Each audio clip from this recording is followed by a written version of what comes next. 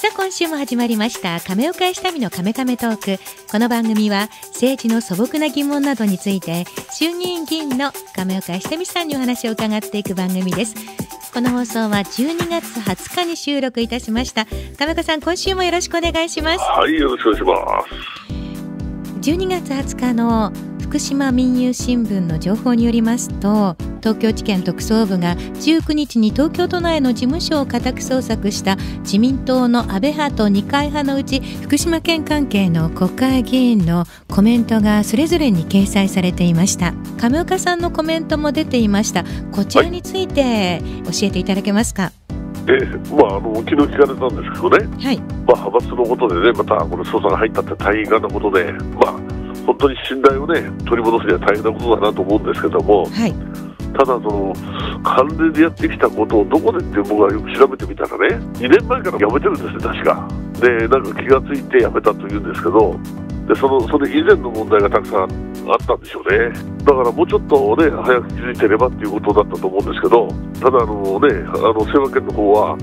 裏金を作りたくて作ったわけじゃないっていうのは僕らも、ね、県内の話聞いたら全部誰もいなかったんですしだから本当にその全部が全部同じように見られてしまうとちょっとかわいそうだなという気がしないでもないんですね。ただその本当にやってた人はもう絶対ダメですしアウトですよこれねだから反省してもらわなきゃいけないんですがただ1回戦2回戦なんかは全く知らないで入ってきた時にこれは関連だって言われてしまって、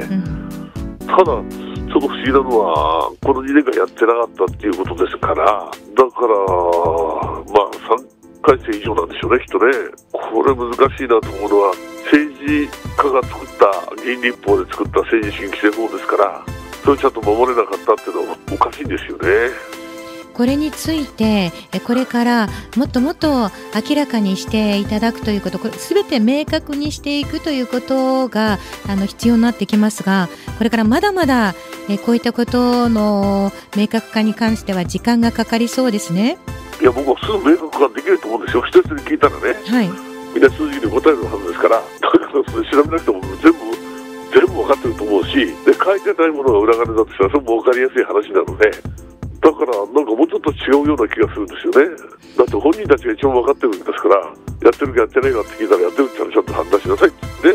まあ、あのいろいろね内容をあの見ていたりするとこの政治資金収支報告書への記載これが不記載というところが、えー、その規模が大きくなっているようなんですがこれ記載しないでっていうことこれは一つ一つ記載することがきちんとしたことになっているわけですが不記載というこれが難しいのはですね、はい、はい、自民党だったら自民党例えば立憲な立憲政政党からですね、うん、政治が個人に行く政策活動費っていうのはその報告義務を持たないと書いてあるんですね。うんだから報告しなかったってことは正しくあの、まあ、これは問題はないんですけども、うん、派閥からもらうものはそれは、えー、正当ではないという検察の判断なんですね。だったらそれはもう派閥で勘違いしてやってしまったことは二度とこういうことを起こさないでくださいよっていう話にならなきゃいけないんですけども、だから多分その清和県なんかは2年前から気がついてやめたと、ただそれ以前のものがとはあの問題になってしまってるということだと思うんですね。だからこれ難しいなと思うのは、慣例でやられたことを切り返して、その、その、切り替えてね、ちゃんと、ちゃんと書かなきゃいけないっていうふうに持っていかなきゃいけなかったんだけど、多分自民党の自民党の中の派閥というものの位置づけがこれ曖昧だったんでしょうね。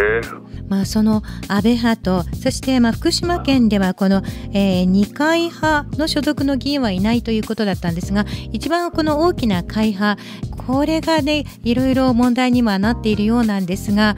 まあ、本当にこれから一つ一つを明確にしていて、えー、国民一人一人が納得いただけるようになっていくことが一番大事なことになりますよね。いやでも難しいじゃないですかね、これだけ裏金、裏金って言われてしまうと、うん、もう先入観で裏金という頭がありますから、はい、だから誰が何言ったっても言い訳にしか聞こえなくなってますから、だこれ、本当に大変なのは、この裏金をやってた人、アウトなんですよ。はい、でも裏金やってなかった人までアウトっていうのは、ちょっと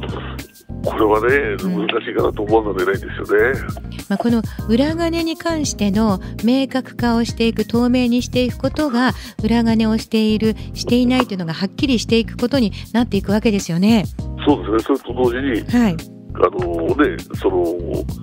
よく分からなかった勘違いという人もいるわけですから、そこに対してどうするかということですよね。政治家のプロであれば、はい、分かるでしょうけど、プロじゃない人たち、なったばかり人たちなんてのプロじゃないですから、それを、ね、判断しろってなかなか難しいことかもしれませんね。亀岡さんの方は、裏金作りは一切していないというコメントを発表されました。この裏金について、はい、まあ、これ、以前からいろんな体質があったかもしれませんけど、裏金については、亀岡さんは、えこれについて、今まで以前からこういうものがあったかどうかについてはいかがですか？いや、我々全くですね、あのー、まあ、私なんかもう40年間経理やってもらってる人いますから、その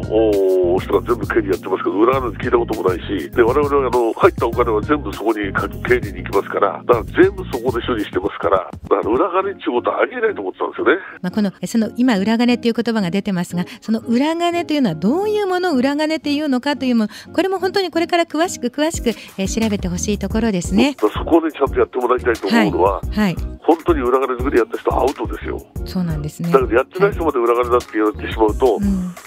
今度何がその警察がようやく分かって何もないって言った時に、風評被害だけ残ってしまうってことですよね。まあ政治に対しての不信感というのが国民にも出てくると思いますので、これはしっかりと明確化してほしいところですね。そうなんですよ。だからそこだけはしっかりしないと、はい、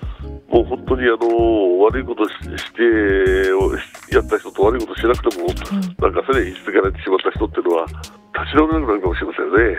はい、まあ、そちらの方もしっかりとこれから明確にしてほしいと思います。そして12月16日土曜日に行われましたこちらの会合はかなりたくさんの皆さんが集まった会合になりました。そしてこれは本当に大きな大きな会合だったんですがこれについて教えていただけますか？これタイミング的にですね、はい、ちょうどまとめてしまったというか、えー、皆さんの興味がちょうどあるときにあのこの会合を持ったセミナーを持ったということなんですが、まあ、これはあの政治報告を含めてですね、はい、ワクチンのその承認された経緯や、えー、新たなパックのね、うん、えー、これから福島でやろうとしていることを含めて紹介をしながら、はい。えー、報告会やったんですけども、うん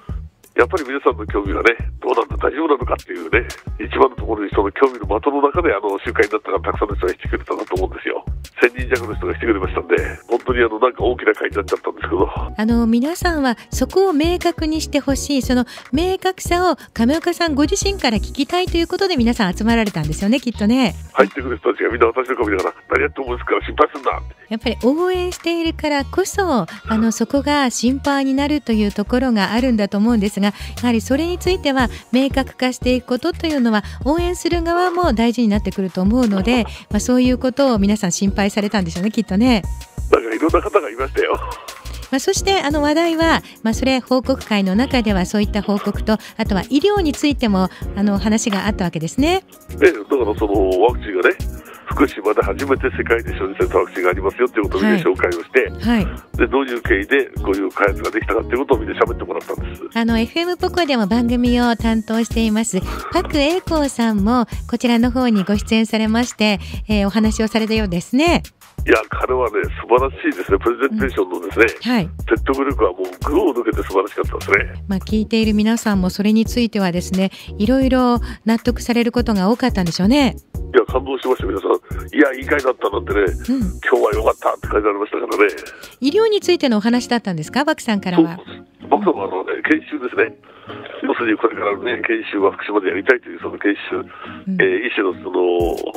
医師医師力の向上を含めてですね彼がすごいその自分がやってることを説明してくれたんですね皆さんもそう納得してましたよやっぱりそれだけ皆さんが不安に思っていることどうなることかということをしっかりと説明してくださったので一人一人がきっとそれについて納得されたんでしょうね。そうそうそう、満足して帰りました。はい。ね、さあ、亀岡さん、まだまだ伺いたいところがたくさんありますが、今週も時間になってしまいました。また来週お話を伺っていきたいと思います。はい、まあ、今後の、あの、いろいろなところ一つ一つをこれからも明確にして、私たちも番組の中で聞いていきたいと思いますので、よろしくお願いいたします。はい、はい、よろしくお願いします。衆議院議員の亀岡ひとみさんでした。ありがとうございました。亀岡下見のカメカメトークこの番組は総合開発研究所の提供でお送りしました。